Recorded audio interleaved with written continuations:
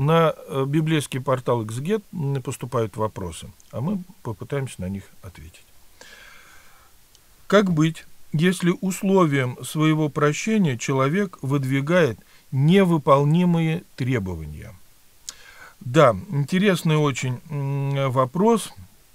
Действительно, мы с вами э, можем сталкиваться э, с таким явлением, как, в общем-то, ну, наверное, издевательство над э, нашим с вами прощением, издевательство может быть над, над нами с вами, или э, человек думает, что прощение может быть именно только при таких условиях.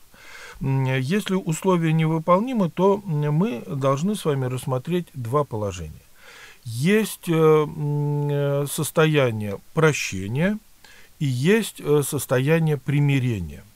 Примирение – это тогда, когда два субъекта, находящиеся в э, ссоре, в каких-либо препирательствах и выяснении отношений, заключают мир между собой и начинают договариваться о продолжении совместной какой-либо деятельности.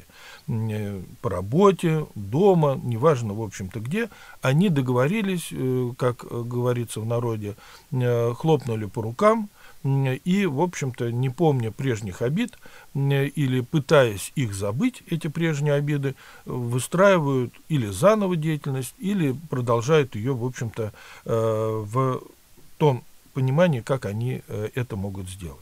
Это называется примирение. Но есть еще прощение. Прощение – это всегда односторонний акт, э, зависящий или не зависящий от того человека, э, у которого мы просим прощения. Мы можем попросить прощения у человека, чтобы он нас простил, то есть не помнил зла, хотя, может быть, он уже будет э, опытным человеком и так э, к нам обращаться не будет, или мы не будем обращаться к этому человеку. Но прощение – это всегда односторонний акт. Прощение совершается в сердце человека – оно может совершиться у одного э, объекта, э, ссоривающегося с другим, а у другого может не свершиться. Он также может таить на тебя злобу, он точно так же может таить на тебя обиды, ну и что угодно, э, замысливать коварные какие-то действия, а в твоем сердце прощение уже наступило. Там наступил уже мир, там наступила уже благость по отношению к другому человеку. И э, требование, что я прощу, если ты будешь, выполнишь такие-такие условия, э, это немножечко наигранное состояние. Прощение – это личный акт моего отношения э, к близкому человеку. Этот близкий человек даже может и не знать о том, что я уже в сердце его примирился. Может быть, он и не хочет знать, примирился, ему это не важно. Он так и будет вести против тебя военные действия, тоже внутри себя, а ты его уже простил. Поэтому прощение и примирение это два совершенно, э, две совершенно разные вещи.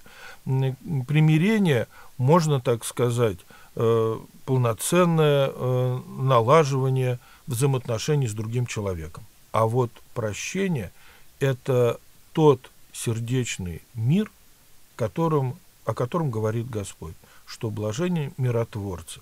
Э, он называет э, миротворцев счастливыми. Дорогие телезрители, будьте очень счастливыми людьми.